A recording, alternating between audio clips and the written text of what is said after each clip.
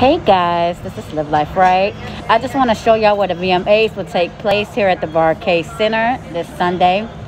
Normani is performing, Chloe is performing, Doja Cat is hosting the show.